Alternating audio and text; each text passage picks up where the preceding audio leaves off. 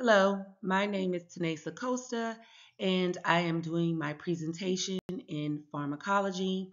I am discussing management of low testosterone in individuals with hypertension and hypertriglyceridemia.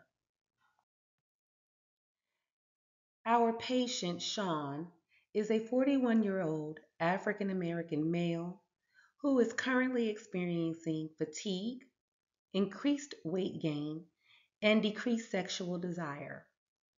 His past medical history includes hypertension and hypertriglyceridemia.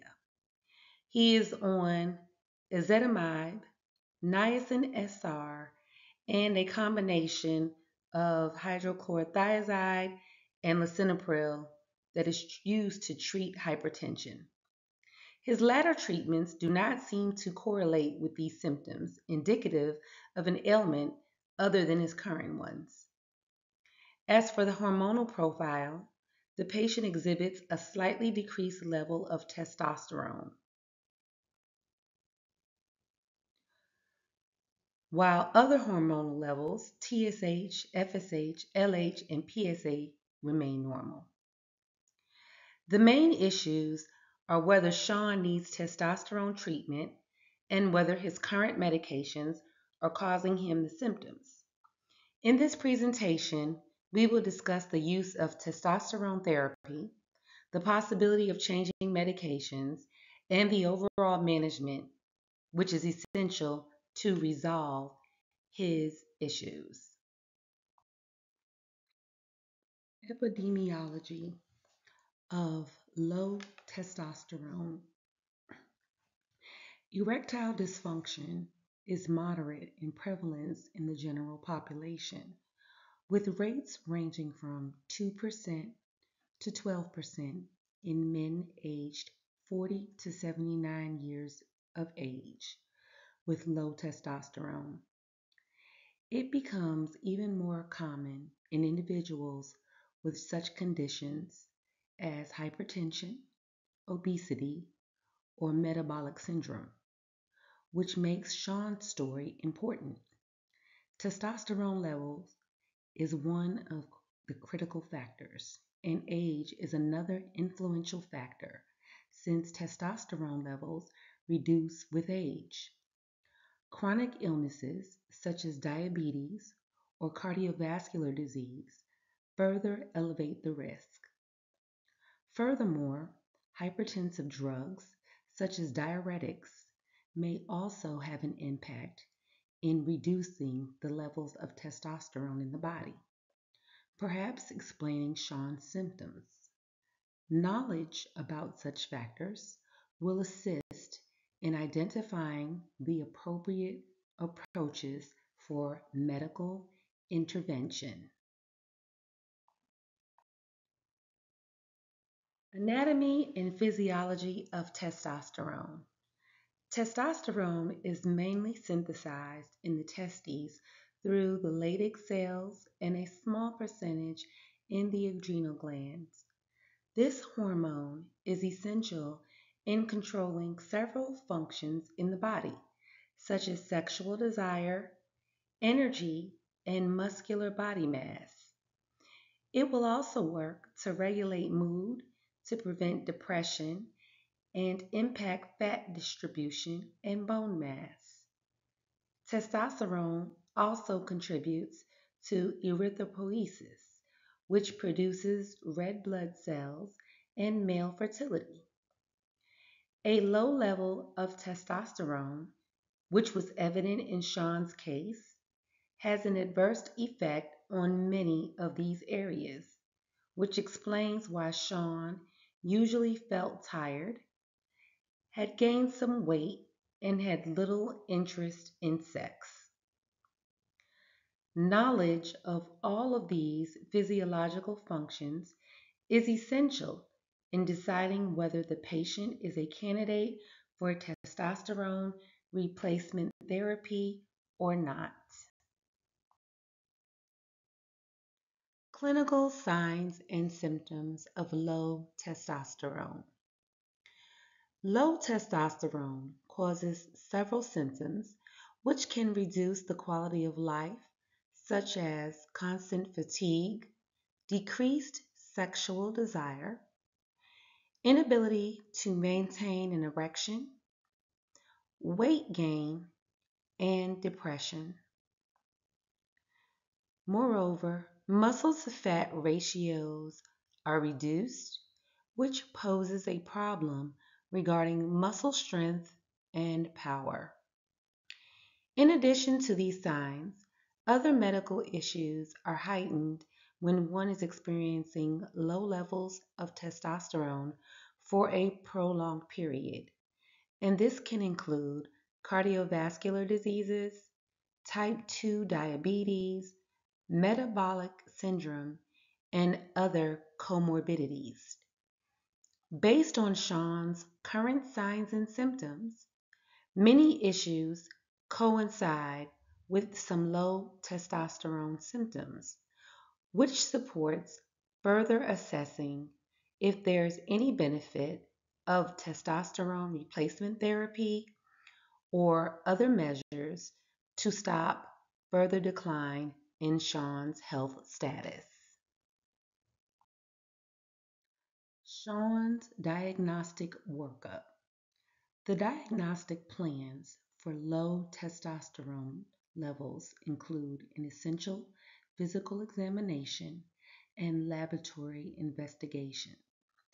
Sean's results show that his serum testosterone level is 180 nanograms per deciliter, below the normal range of 193 to 836 nanograms per deciliter.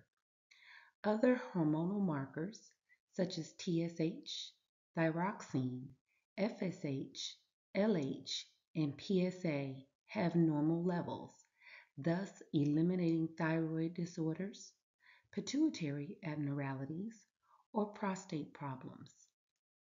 Repeating the testosterone level measurement on the second morning is mandatory according to the clinical guidelines because the hormone level varies over 24 hours. Also, it is required to reveal the symptoms that could be present, such as mild, moderate, or severe fatigue, weight gain, and decreased sex drive before starting the treatment. This evaluation process enables correct identification of the problems and consequently formulates an appropriate management plan. Now we are going to do a medication review.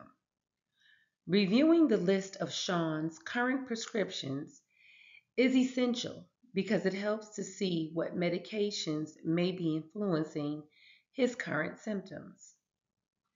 The use of hydrochlorothiazide and lisinopril as an antihypertensive can lead to fatigue as well as erectile dysfunction which may explain his symptoms of decreased energy and sexual activity. Also, niacin SR, used for managing triglyceride levels, leads to weight gain and additional fatigue, which also affects Sean. However, ezetimibe does not have any relationship with fatigue or sexual dysfunction. Therefore, exclusion or minimal causation might be expected from it in precipitating his symptoms. Understanding these medication related effects will help us make necessary adjustments and recommendations concerning Sean's treatment plan. Is the patient suitable for testosterone therapy? Several factors must be considered when deciding whether Sean should receive testosterone therapy. Testosterone replacement is usually recommended when the side effects, including fatigue and reduced sexual desire, worsen the patient's quality of life and other possible causes are excluded based on relevant investigations.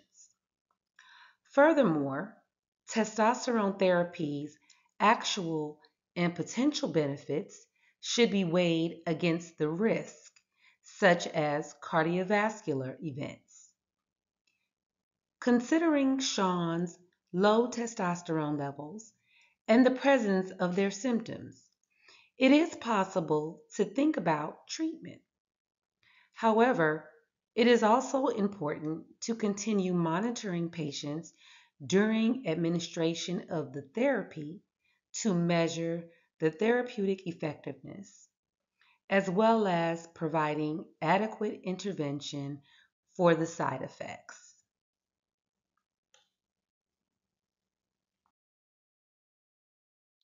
Testosterone therapy options. The pharmacological approach to managing low testosterone depends on the treatment method. Testosterone can be administered through different routes. The testosterone gel is commonly used and must be applied on the skin daily to gradually influence, release, and stabilize hormones. Testosterone skin patches are another form that can be applied directly onto the skin and are changed daily, thus another convenient form of testosterone application. For those wanting to use fewer applications, one can take intramuscular injections administered every 10 to 14 days. However, Irrespective of the selected approach, the PSA, hematocrit, and lipids should be checked at least every 6 to 12 months of treatment to avoid side effects. This active monitoring produces future risks that, in turn, evaluate the effectiveness of the therapy in alleviating the symptoms of treatment. Non-pharmacological management. Non-pharmacological measures form a significant layer of managing low testosterone and enhancing general well-being. Lifestyle modifications, such as incorporating a well-balanced diet, weight loss, and regular exercise, can help boost testosterone levels and positively affect energy, mood, and overall quality of life. Also, counseling is useful in the psychological aspect since Sean may have other emotional problems and interpersonal difficulties attributed to his symptoms. It is also important to evaluate and minimize the treatment of complications like hypertension and hypertriglyceridemia, and possibly regulate his medications. With this non pharmacological approach, alongside the pharmacological treatment plans, we can provide optimal, tailor made, effective management of Sean's improvement. Adjusting Sean's current medications. A change in the medications that Sean is presently on is essential in alleviating his symptoms and enhancing his well-being. We would replace HCTZ with an ACE inhibitor, which also effectively controls hypertension, with the advantage of minimizing fatigue and erectile dysfunction, commonly linked to diuretics. Likewise, the routine use of angiotensin receptor blockers, which are very safe drugs, can also be used. Combining simvastatin with ezetimibe may be useful for treating hypertriglyceridemia because statins reduce triglycerides and do not cause fatigue, unlike niacin. Ezetimibe can also be used as monotherapy for lipid disorders, since it's been approved for clinical use. It is necessary to explain these changes to Sean and what changes he can expect to see as a result of this treatment, as well as possible side effects that he might face in the future while being treated so that he would be active in the overall treatment process and understand what is being done regarding his health care.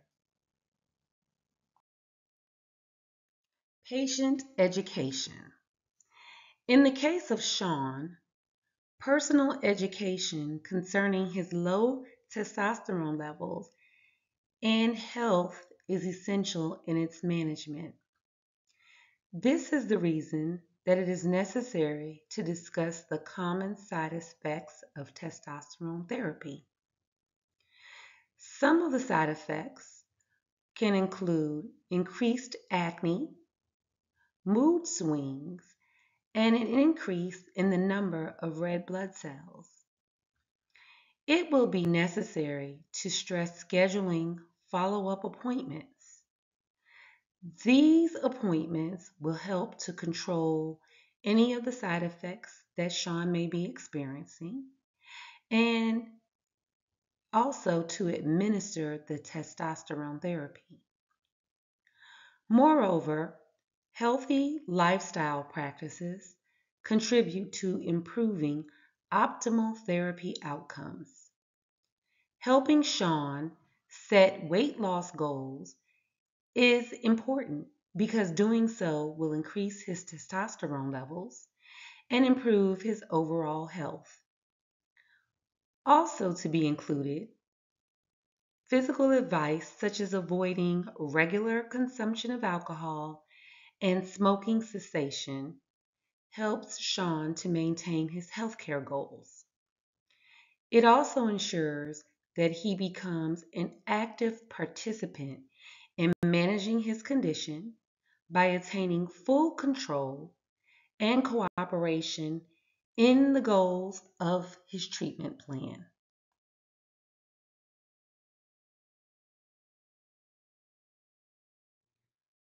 Concluding Sean's therapy. The treatment plan for Sean needs proper supervision and follow up care to check for side effects and the treatment progress. Blood tests will measure testosterone levels, PSA, hematocrit, and lipid profiles. For the first year of therapy, blood tests will be made every three months and every six to 12 months. If side effects or abnormal lab values appear, the treatment strategy will be modified accordingly. Monitoring will also involve determining the patient's symptoms to evaluate whether therapy brings about significant positive changes in energy, weight loss, and sex drive. Moreover, treating his blood pressure and triglyceride issues has substantial potential to, to benefit his health.